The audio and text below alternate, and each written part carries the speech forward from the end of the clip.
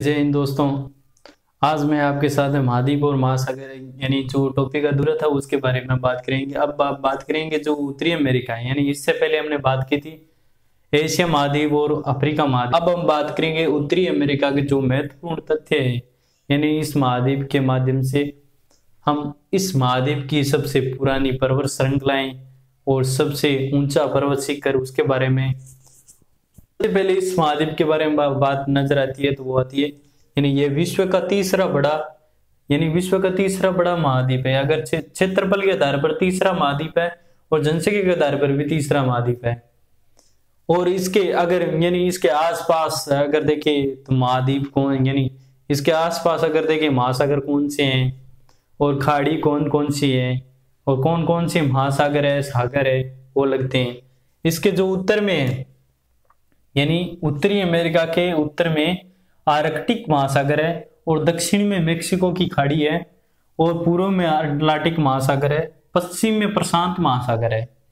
यानी ये जब हम मानचित्र में देखें तो बहुत ही सरल तरीके से हमें समझ में आएगा। अब हम बात करते हैं जो अपरी, यानी उत्तरी अमेरिका के जो प्रमुख महाद्वीप है, उनके बारे में। तो प्रमुख द्वीपों के बारे में इतना ही दे रखा है। यानी Newfoundland Vancouver West Indies ये उत्तरी अमेरिका के प्रमुख द्वीप है।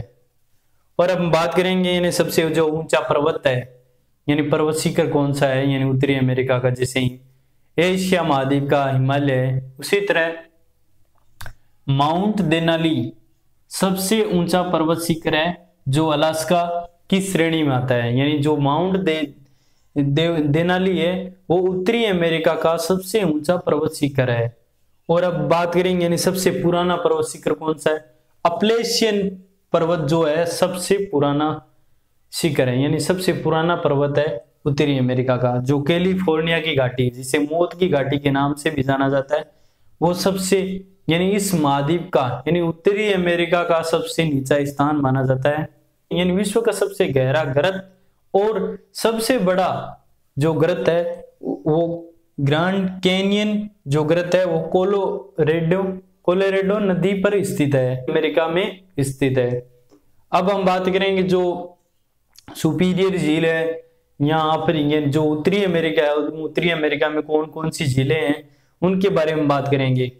तो सबसे पहले हम बात करेंगे इन्हें सबसे पहले हम ट्रिक के माध्यम से इन सबको, यानी याद करेंगे।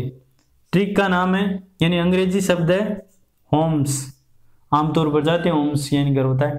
ओम्स के एक, दो, तीन, चार, पाँच।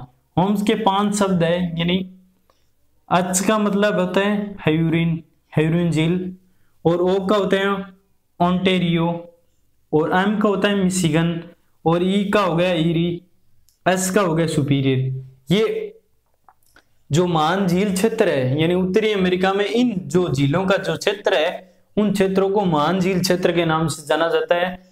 और जो उत्तरी अमेरिका की जो प्रमुख झीलें हैं, वो इस ट्रिक के माध्यम से हम याद कर सकते हैं। Homes, Superior Michigan, Huron Erie और ओंटेरियो। और जो सुपीरियर जो झील है, वो विश्व की, यानी सबसे बड़ी ताजे पानी की झील मानी जाती है। यानी विश्व की सबसे बड़ी जो ताजे पानी की झील है, वो सुपीरियर झील है, जो यूएसए व कनाडा के मध्य स्थित है। और अब बात करेंगे जो यानी यूएसए मतलब उत्तरी अमेरिका के जो प्रमुख नदियाँ कौन कौन सी है? मिसिसिपी मिसोरी ओयो और कोलोरेडो प्रमुख नदियाँ हैं। धन्यवाद दोस्तों। आज हमने उत्तरी अमेरिका के महाद्वीप के बारे में जो महत्वपूर्ण तथ्य निर्धारित किए महत्वपूर्ण तथ्यों की हमने, यानी विस्तृत रूप से जानकारी प्राप्त की।